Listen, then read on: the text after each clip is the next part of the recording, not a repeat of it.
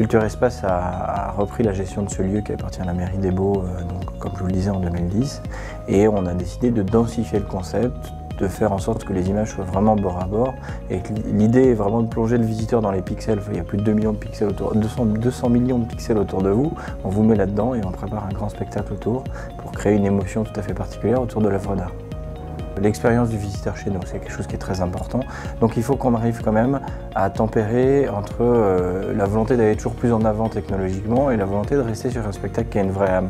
Pour l'instant, euh, les renforts technologiques qu'on a, que ce soit euh, grâce aux différents serveurs, grâce aux, projecteurs de Barco ou autres, c'est d'augmenter en qualité, en profondeur d'image, en résolution, pour pouvoir avoir une expérience qui est vraiment très forte.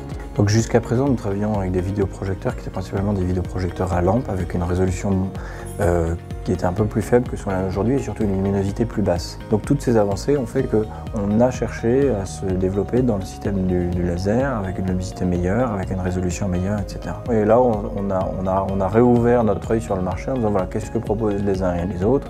Et c'est vrai qu'on a vu que l'offre de Barco euh, était très satisfaisante sur le produit, euh, où on a besoin d'avoir des produits qui sont de très bonne qualité, qui sont faciles d'utilisation, qui sont fiables. Les gens voient la différence clairement dans la forme d'image et de profondeur d'image dont je parlais, surtout que cette année avec Bosch, Bruegel, euh, et toute la peinture flamande du 16e et 17e, on a quand même beaucoup de détails, etc.